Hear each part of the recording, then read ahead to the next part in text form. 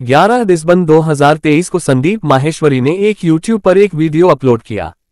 Video में उन्होंने big scam expose करने का दावा किया।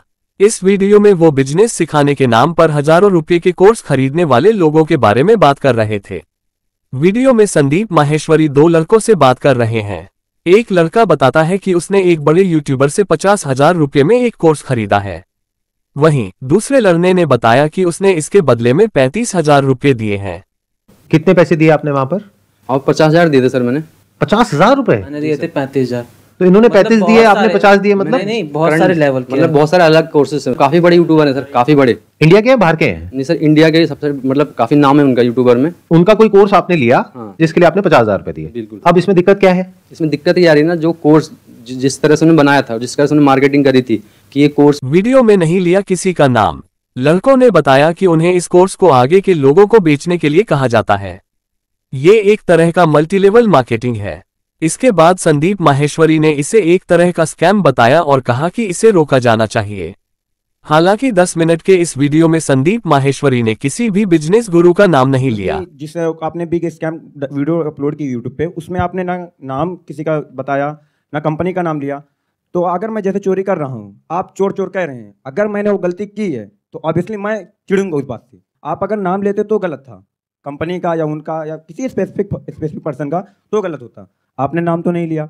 और अगर नाम नहीं लिया है आपने और अगर मैं गलत हूँ तो मैं चिड़ूँगा YouTube पर अपलोड होने के बाद वीडियो तेज़ी से ट्रेंड करने लगा। अगले दिन संदीप माहेश्वरी ने YouTube के कम्युनिटी पोस्ट में दावा किया कि कुछ लोग मेरी टीम पर वीडियो हटाने का दबाव बना रहे हैं। अभी तक मैं इसमें डायरेक्टली इन्वॉल्व नहीं था लेकिन अब हो गया हूँ। तो अब आप लोग अकेले नहीं है। मेरा एक सिंपल सा प्लान है कि मैं अपने चैनल पर मोनेटाइजेशन ऑन करूँगा। वहाँ से मेरे पास में कुछ पैसा आएगा। मान लो दो तीन महीने में मेरे पास में एक करोड़ रुपए आ जाता है।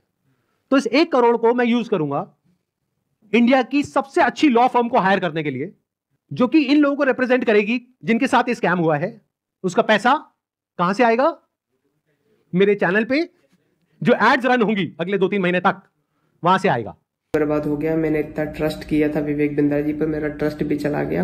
और मैं मुझे सुसाइडल थॉट आते हैं और मैं अगर कंपनी मेरा पैसा रिटर्न नहीं करती है तो मैं सुसाइड करूँगा। और मैंने 10-12 वीडियो बना करके अलग अलग चैनल पर डाल दिए ये वीडियो हमने रिकॉर्ड नहीं करी है। ये यूट्यूब पर अवेलेबल है। और ऐसी एक दो नहीं बहुत सारी वीडियोस अवेलेबल है अलग अलग लोगों की। और बहुत सारे ऐसे बच्चे हैं जिन्होंने ब्याज पे पैसा लिया है। अब आपको एक बहुत मज़ेदार बात बताता हूँ। ये सिखा रहे हैं दस दिन का एमबीए दस दिन में कौन सा एमबीए होता है? मतलब इस हिसाब से आईआईएम और ये जितने टॉप एमबीए कॉलेजेस हैं, उसकी प्रिपरेशन के लिए लोग कोचिंग में जाते हैं, तैयारी करते हैं कैट को क्रैक करने के लिए। उस सबकी तो कोई ज़रूरत ही नहीं है। साक्षात विवेक बिंद्रा जी।